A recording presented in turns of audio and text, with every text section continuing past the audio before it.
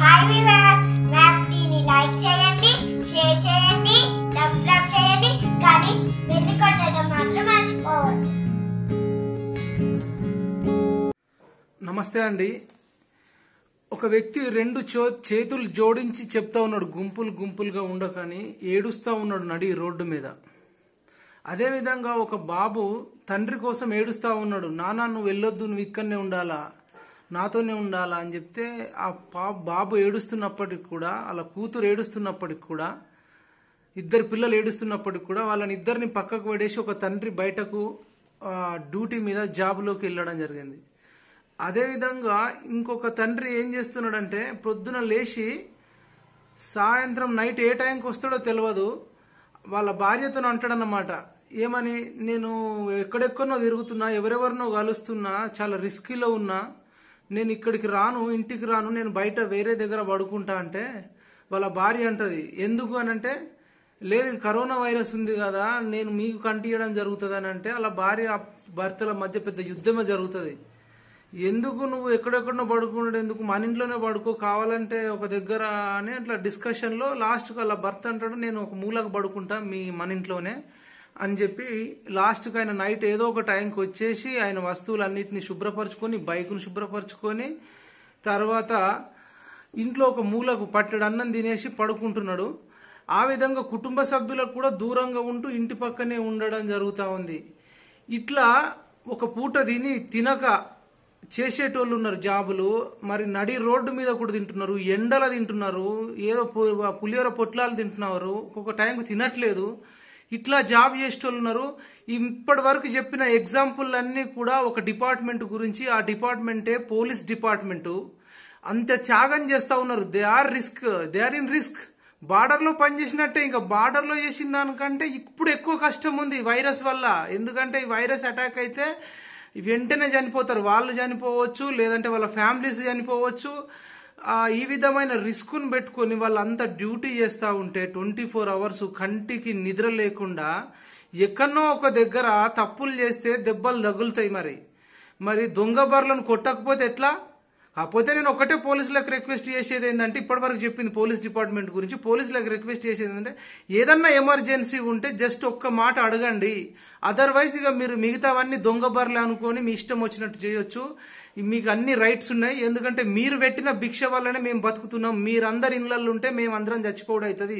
ఎందుకంటే ఈ క్వారంటైన్స్లో ఉండాల్సిన వాళ్ళు క్వారంటైన్స్లో ఉండకుండా విదేశాలలోకి వెళ్ళి వచ్చి వాళ్ళ ఇష్టం వచ్చినట్టు పెళ్ళిళ్ళకు పబ్బాలకు తిరిగితే ఎట్లా చెప్పండి? ఒక డిఎస్పి విషయంలో కూడా ఇట్లనే జరిగింది. మొన్ననే పశ్చిమ గోదావరి జిల్లాలో పెరవ పశ్చిమ గోదావరి జిల్లా పెరవల్లిలో ఒక ఎస్ఐ ఒక పూట తిని సాయంత్రం టైంలో ఒక అబ్బాయి వింటలేడు విదేశాల నుంచి వచ్చిన అబ్బాయి వింటలేడు అనే స్థానికులు కంప్లైంట్ ఇస్తే ఎంత చెప్పిన ఇంటిలో అది ఒక దొంగ బర్రె లెక్క అయిందని చెప్పి దాన్ని ఆ నేను కొట్టడం జరిగింది. వాళ్ళు తెలివిగా ఏం చేశారంటే ఆ అబ్బాయి చాలా తెలివిగా కన్నింగ్ ఫెయిల్లో ఉన్నాడు క్వారంటైన్లో ఉండకుండా బయటకు వచ్చి అందరికి అంటించి అందరినీ చంపుదాం అనుకుంటున్నాడు అంటే ఇండైరెక్ట్గా ఆయనకు తెలియకుండానే చంపుదాం అనుకుంటున్నాడు వానికి సోయి ఉండాలి కదా సిగ్గులేనోడికి. వాడు చేసుట్లు ఎంతమంది చచ్చిపోతారు? నూట ముప్పై కోట్ల మంది చచ్చిపోయే ఛాన్స్ ఉంటుంది కాబట్టి మనకు ఆయన కొట్టడం ఎటువంటి తప్పు లేదు. ఎంత కొట్టిన తక్కువనే ఎందుకంటే ఫ్యామిలీ ఫ్యామిలీ తేడా ఫ్యామిలీ ఉంది. క్వారంటైన్స్లో ఉండకుండా ఇంటి ఊరంతా ఉట్టి ఊరందరిని చంపేద్దాం అనుకుంటుండా? మీకు ఒక ఎగ్జాంపుల్ చెప్తా వినండి. బార్డర్లో సైన్యం దగ్గర ఒకడు మొత్తం బాడీకి బాంబు వేసుకొని వస్తాడు అనుకోండి బాడీ బాంబు వేసుకొని వస్తే ఆత్మాహుతి చేసుకుందామని బటన్ నొక్కకుండా ముందు వాడిని చంపకపోతే వాడు అందరిని చంపేస్తాడు. అందుకోసమైనా మనము సీరియస్గా ఉండాలి. కాబట్టి ఇప్పుడు ఈ వైరస్ ఉన్నోడు బయటకు వస్తే లేదంటే అనుమానితులు కూడా బయటకు వస్తే వీళ్ళందరూ కూడా హ్యూమన్ బాంబ్ వేసుకున్న దానికంటే ఎక్కువ డేంజర్ అవుతారు. కాబట్టి సింహాద్రి సినిమాలో ఒక సీన్ ఉంటుందండి. ట్రైన్ ఎక్కేటప్పుడు భానుచందర్ ఒక బ్రీట్ కేసు పట్టుకుని ట్రైన్ ఎక్కడానికి పోతాడు. ఆ బ్రీట్ కేసులో బాంబు ఉంటుంది. జూనియర్ ఎన్టీఆర్ దూరం నుంచి ఆయన ఎక్కే టైంలో ట్రైన్ ఎక్కే టైంలో దూరం నుంచి కాల్చేస్తాడు. అప్పుడు భానుచందర్ చనిపోతాడు బాంబు వేలదు ట్రైన్లు ఉన్న వాళ్ళందరూ బతుకుతారు. అంటే ఆయన కనుక పైకి ఎక్కుంటుంటే ఆయనతో పాటు ట్రైన్లు ఉన్న వాళ్ళందరూ చచ్చిపోతారు. అంటే ఒక్కో పది మందిని బతికించడం కోసం ఒకళ్ళని చంపినా ఏం కాదు. అదే విధంగా ఇప్పుడు కరోనా వచ్చినోడు కానీ అనుమానితులు కానీ క్వారంటైన్స్లో చెప్పిన విధంగా ఉండకపోతే రెండు గవర్నమెంట్లు షూట్ అండ్ సైట్ ఆర్డర్స్ ఇవ్వాలి ఈ క్వారంటైన్స్లో ఉండేటోళ్ళ గురించే చెప్తున్నా. వాళ్ళు దయచేసి క్వారంటైన్స్లో ఉండాలి. ఉండకపోతే షూట్ అండ్ సైడ్ ఆర్డర్స్ ఇవ్వాల్సిందిగా రెండు రాష్ట్ర ప్రభుత్వాలను విన్నవించుకుంటున్నాం. అదేవిధంగా ఎస్ఐని పూర్తిగా మద్దతు ఇస్తున్నాం కొట్టడం ఏం తప్పు కాదు. ఆయన విదేశాల నుంచి వచ్చి కూడా బయట తిరగడం వలన ఆయన కొట్టిండు కాబట్టి ఎస్ఐకి పోలీస్ డిపార్ట్మెంట్కు పూర్తి మద్దతు ఉంటాము. అమాయకులను పేదవాళ్ళను మాత్రము అడగండి.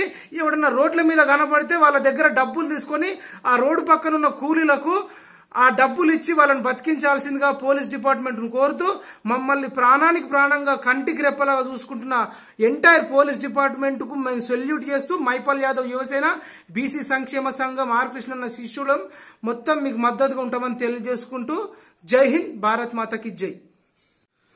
నమస్తే అండి తెలుగు ప్రజలకు. చాలా మంది ఫోన్ చేసి చెప్తా ఉన్నారు. ఏందనంటే యువకులు చాలా మంది గుంపులు గుంపులుగా దావతులు చేసుకుంటారు. చికెన్ తక్కువ ధర ఉందని తర్వాత బీర్లు తాగడానికి తా- మన బ్లాక్లో కొనడానికి వెళ్తున్నారట. చెట్లలో కూడా గుంపులు గుంపులుగా వెళ్ళి చెట్ల కళ్ళు తాగడానికి పోతున్నారట. ఎందుకు ఇట్లా చేస్తున్నారు వాళ్ళకి ఎందుకు భయం లేదంటే బర్రెలు ఉంటాయి కదా. మన చిన్నప్పుడు బర్రెలకు పోయినప్పుడు కూడా బర్రెలకు నీ దొంగ బర్రెలు ఉంటుండే. ఆ దొంగ బర్రెలు ఏం చేస్తాయంటే మంచిగా గడ్డి తీసుకుపోయి పెడితే అవి చేనులకు కానీ మొక్కజొన్నలకు కానీ వరిలకు కానీ పత్తులకు కానీ పోయి అవి నాశనం చేసేస్తేనే వాటికి సంతోషం అన్నమాట. మంచిగా పెడితే తినే అవి. అందుకనే దొంగ బర్రె అట్లా చేస్తుంది.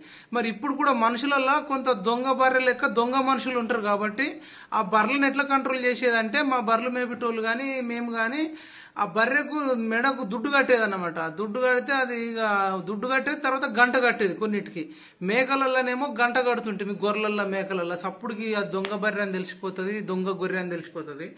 ఇక మనుషులకైతే దుడ్డు కట్టాలి. దుడ్డు గంట రెండు కట్టేసినామంటే వాడు ఏడికి పోయినా కానీ సప్పుడు వస్తుందంటే బాగుంటుంది.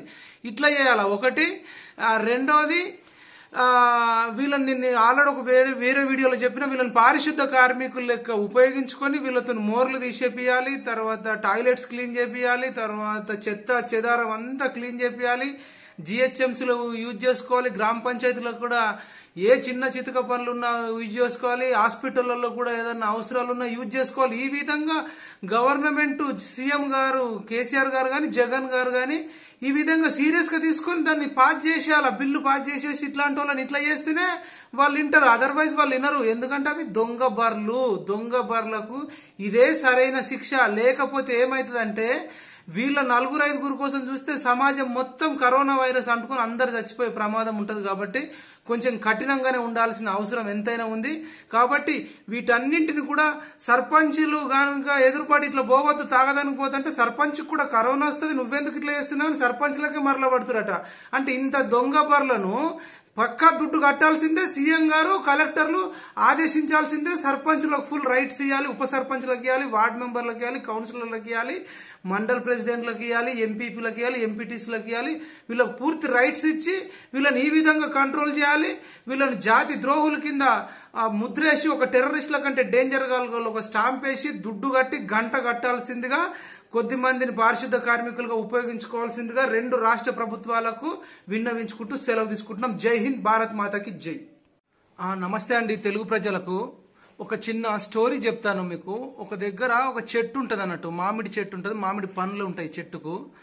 ఒక అతను ఇట్లా నడుచుకుంటూ వెళ్తాడు. అంటే ఆ కళ్ళేమో పండును చూస్తాయి కాళ్ళేమో నడుస్తాయి చేతులేమో తెంపుతాయి. నోరేమో తింటుంది టేస్ట్ ఏమో నాలుకకు. ఆ యజమాని వచ్చి చూసి కొడతాడు వీపు వీపు విమానం మొత్తం మోయిస్తాడు. అంటే దెబ్బలేమో వీపుకు.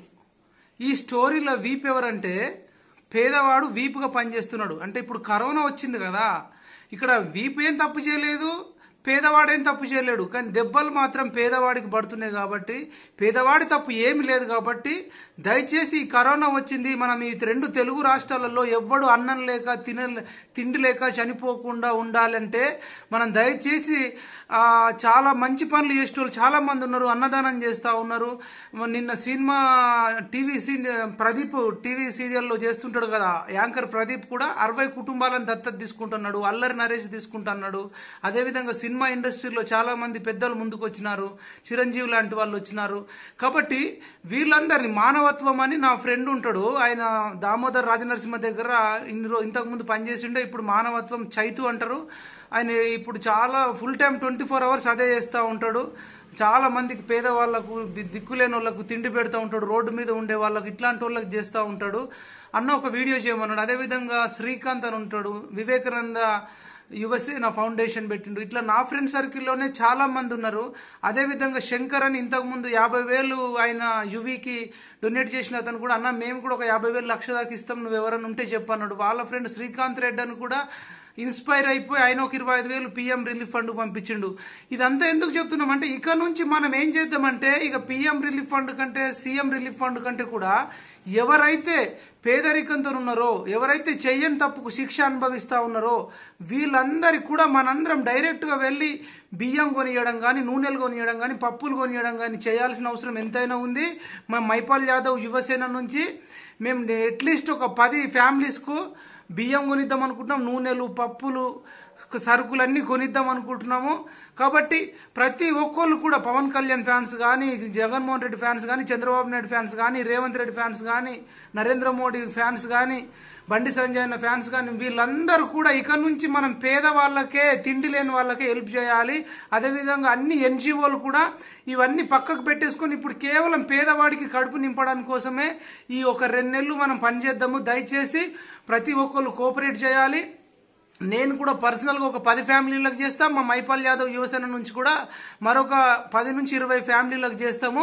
ఈ విధంగా ప్రతి ఒక్కళ్ళు కూడా గరీబోడికి పేదవాడికి కడుపు నింపాలా? చచ్చిపోతే అందరం కరోనాతో చచ్చిపోదాం కానీ అన్నం లేక పప్పు లేక ఉప్పు లేక తిండి లేక చావద్దు. ఎందుకంటే నడి రోడ్ల పైన గర్భవతులు ఉన్నారు పేదవాళ్ళు ఉన్నారు చిన్న చంటి పిల్లలు ఉన్నారు వాళ్ళకు పాలు రావట్లేదట. నిన్న వేములవాడలో హెచ్ఎంటీ ఒకటి ముందుకు తీసుకొస్తే బండి సంజయ్ అన్న వాళ్ళకి హెల్ప్ చేసిండు. ఆ రకంగా బండి సంజయ్ అన్నను కానీ ఇంకా మిగతా అల్లరి నరేష్ని కానీ యాంకర్ ప్రదీప్ను కానీ ఇట్లాంటి వాళ్ళని మనం ఆదర్శంగా తీసుకుంటూ మా ఫ్రెండ్ శ్రీకాంత్ను కానీ అదేవిధంగా వీళ్ళు మన శంకర్ను కానీ శ్రీకాంత్ను కానీ వీళ్ళందరినీ కూడా ఆదర్శంగా తీసుకొని మనం ప్రతి ఒక్కళ్ళము ప్రతి ఒక్కళ్ళకి హెల్ప్ చేయాల్సిందిగా కోరుకుంటూ దయచేసి ఈ విన్నపాన్ని అందరూ పాటించాలని కోరుకుంటూ జై హింద్ భారత్ మాతకి జై.